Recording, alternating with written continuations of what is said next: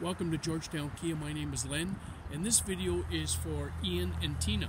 Hi guys, I thought I'd uh, shoot a quick uh, YouTube video of the Sportage. This is the LX all-wheel drive, is one of the vehicles you're interested in. And I'll just kind of quickly go around it, show you the Sportage. You can see that this one uh, does have all-wheel drive, and it comes standard with fog lights. You can see here, fog lights in the front just quickly come around and show you how easy it is to get into the storage compartment here in the back. So you can see that uh, those seats there, that second row, it's what they call a 60-40 split, so they will fold down flat to give you a little bit more storage. A little bit of storage under the floor, but not a lot. You see that? Let me just jump inside and I'll kind of show you some of the features of the Sportage. So this one, uh, it has features that you would expect in a vehicle. Down here on the on the door, you can see that it has power windows, power door locks, power side mirrors. Those side mirrors are heated.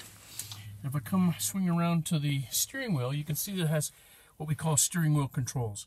Over on the left is volume controls for the stereo, uh, the Bluetooth connection, that uh, red and green button there. And then on the other side, on the right side, that's for your cruise control and your trip computer. Now let me just start this baby up. So in the dash you have tach on the left, speedometer on the right, and you can see in the center it has a trip computer. Right now it's telling you that based on the fuel load you have 151 kilometers to empty. And if you cycle through that, it'll just show you how fuel efficient you're being. Now let me come over here. Um, you can see that it comes standard with heated seats. You see that button down there for heated seats. And the entertainment is um, AM, FM, satellite radio. This one still has the CD player, interesting enough. Um, and that screen will actually double as a rear backup camera. Let me just show you. So what it's saying there to you is yellow zone you're fine, red zone you better stop. You're going to hit what's behind you. And I'll just swing around and kind of show you. This one, because it is the entry level, basically, you can see that it has cloth interior. A little bit uh, of leg room in the back. Hopefully you can see that in my video. Just pan, just pan the, the vehicle here.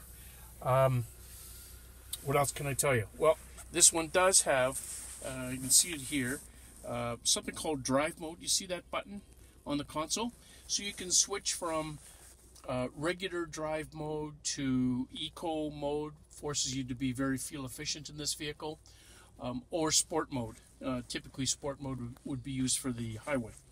Uh, that picture, you can see the picture down there with the uh, downhill vehicle going downhill. Um, that's a button that you use for downhill braking assist. And then over on the far right, that's your uh, all-wheel drive lock. So it would run in what we call intelligent mode till it senses the need for all-wheel drive. It'll automatically engage all-wheel drive for you. Or you do have that option of pushing the button and you can in fact uh, lock in all-wheel drive. So now you're driving four wheels instead of two. So uh, Ian uh, and Tina, uh, thanks for listening. If you do have any questions about our 2018 ski, uh, Kia Sportage, uh, please give me a call. My name's Len. You can reach me at 905 877 7818. Have a great day. Thanks.